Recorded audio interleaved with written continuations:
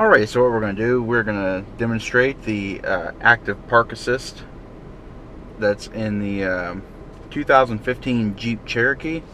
We're using a Cherokee Limited. Uh, all your controls are on the front center console, right below the 8.4 inch touchscreen display.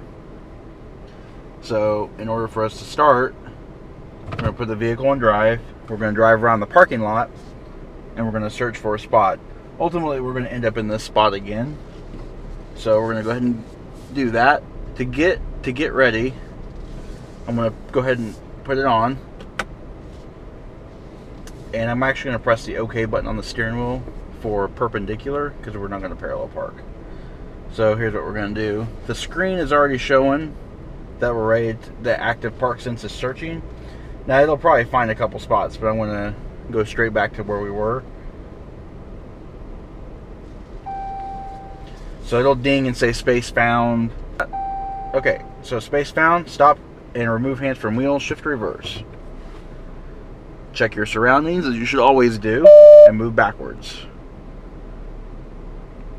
Never putting your hand on the wheel. You're just in control of your acceleration and your brake. Now it'll tell you to stop and then shift to drive.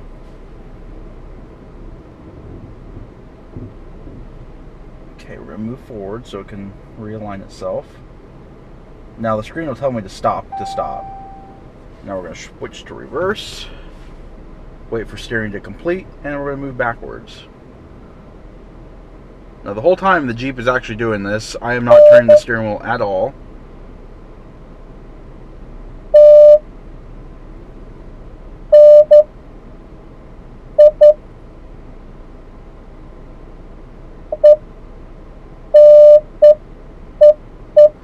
ParkSense complete. Check parking position. That beeping is actually the the parking sensors. Alright, so we are parked. It's pretty cool. Alright, and this is just to show you how good this vehicle parked itself. It is right in between the lines evenly. It's pretty amazing system.